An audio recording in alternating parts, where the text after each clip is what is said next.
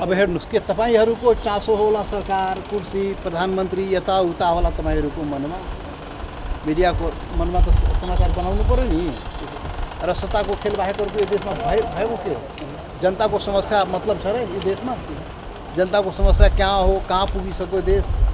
अनि प्रधानमन्त्री फेर्ने यी कुराहरू त भइरहेको नि त। हाम्रो एजेन्डा त्यो होइन के?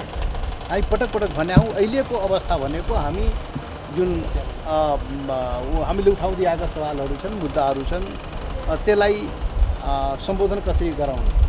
यो अहिलेको कार्यभार विगतको आन्दोलनको कार्यभार हाम्रो टाउकोमा छ के? त्यो आन्दोलन आन्दोलनकारीहरूलाई मुद्दा मामला लगाइरहेको थियो जेलमा हालेर त्यसलाई छुटाउने त्यो सरकारले आग्रह गर्ने दबाब बनाउने त्यो विगतमा पनि गरे आज पनि गरिरहेको छु नभएसम्म भोलि पनि गरिराख्ने हो। त्यसैले पार्टीले उठाएका सवालहरूलाई त्यो म, आन्दोलनताका बाँकी संविधान लगायतका त्यो एउटा कार्यभार हाम्रो टाउकोमा बाँकी छ के?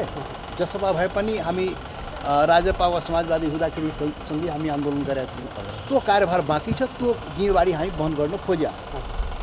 बाँकी जसपाको त आफ्नो देशमा वैकल्पिक निर्माण गर्ने हाम्रो कार्ययोजना हो बहुराष्ट्रिय राज्य बनाउने हो यो औपनिवेशिक चिन्तन सोचबाट देशलाई कसरी मुक्त गर्ने हो नस्लीय चिन्तन सोचबाट गरिएको शासन संविधान यो जो हो त्यो सबै जनताको कसरी संविधान बन्ने हो।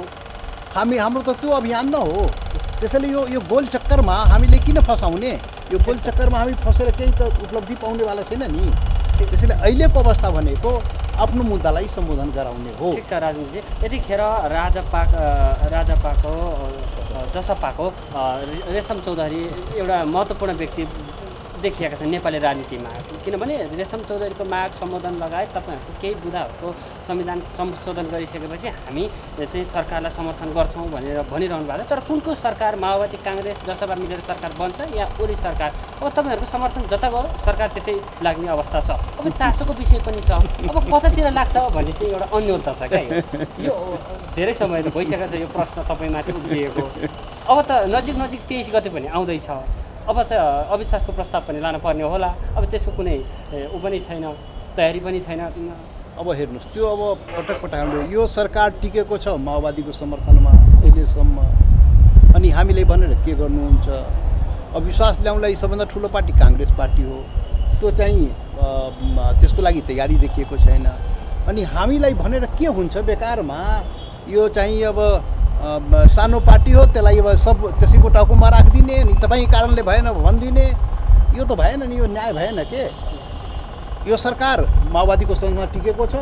पछाडि जेसुकै कुरा भए पनि अहिले यो सरकार माओवादीको समर्थनमा टिकेको छ। यो कुरा चाहिँ सत्य हो। र यो सरकारले हटाउनलाई अविश्वास प्रस्ताव ल्याउनु पर्ने हो त्यो काङ्ग्रेस त्यसको लागि तयार छैन। यो कुरा थाहा हुँदा हुँदै पनि जसपाको हातमा साँचो छ भनेर भन्नु यो कतिसम्म उचित र जायज कुरा हो? त्यसैले यी कुराहरूमा कुनै दम छैन के? नभन्नुहोस्। हाम्रो त्यो त्यो नभन्नुहोस्। अर्को पार्टी। तर भूमिका ठुलो देखिया छ क्या यतिखेर? ताना तानको अवस्थामा पनि हुनुहुन्छ क्या अनावश्यक हो सरकार सत्ताको खेलमा हामी छैनौँ पहिलेदेखि भनिरहेको हो। र अहिले सरकार परिवर्तनको सन्दर्भमा दुईवटा जुन काङ्ग्रेस र माओवादीको जुन अवस्था हो त्यो अवस्था नै प्रश्न नभएपछि तपाईँ सरकार परिवर्तन कुरा कहाँबाट गर्नुहुन्छ? जसपाले गर्ने हो र? त्यो यो बिना मतलबको कुरा भइरहेको छ के? पहिलो कुरा। दोस्रो कुरा दुई धार चार धार केही पनि छैन। त्यो तपाईँ मिडियाले बनाइदिएको धारहरू हो के? पार्टीको जो निर्णय हुन्छ त्यही अनुसार पार्टी बढ्ने हो। यो मागहरू पुरा भइसकेपछि पार्टी कता जाने हो? के गर्ने हो त पार्टीले त निर्णय गर्नु पऱ्यो नि। अहिले त माग सन्दर्भ पुरा गर्नु सन्दर्भमा कुराहरू भइरहेछ होइन अनौपचारिक हामी कुरा गरिरहेछौँ त्यो पुरानो हाम्रो कार्यभार भएकोले त्यसमा कुनै रोकटोक छैन त हामी गरिरहेको तर अब यसपछि के गर्ने हो त पार्टीले निर्णय गर्छ नि त। त पार्टी भनेको एउटै पार्टी हो जनता समाजवादी पार्टी एउटा पार्टी हो। र त्यो पार्टीले बसेर एउटा निर्णय गर्छ के? अनि के गर्ने हो? त्यसपछि के गर्ने हो? सरकारको सन्दर्भमा पनि के गर्ने हो? पार्टीले जे निर्णय गर्छ त्यही हुन्छ के? त्यसैले धारहरू तपाईँहरू नबना बनाइदिनुहोस् के? होइन यो धारको कुरो चाहिँ एउटा- एउटा धार। तपाईँ- र महन्त ए बाबा। कसको अब कस्तो यस्तो कसैको आग्रह पूर्वाग्रह मेरो आग्रह पूर्वाग्रह केही हुनसक्छ कसैको केही रिस रिसिभी हुनसक्छ त्यो होला। व्यक्तिगत कसैको आग्रह पूर्वाग्रह केही रिसिभी कोहीसँग हुनसक्छ तर पार्टी भनेको संस्था सङ्गठन हो के? पार्टी जे निर्णय गर्छ त्यो हामी सबैले मान्छौँ के? पार्टी जे त्यो माग पुरा भइसकेपछिको सन्दर्भमा अब के गर्ने? अब यो पार्टी के गर्ने हो? सरकार सत्ताको बारेमा पनि के गर्ने हो? त्यो सन्दर्भमा पनि पार्टी बसेर एउटा निर्णय गर्छ। र जे निर्णय हुन्छ त्यही पार्टीको निर्णय हुन्छ त्यही धार हुन्छ क्या पार्टीको?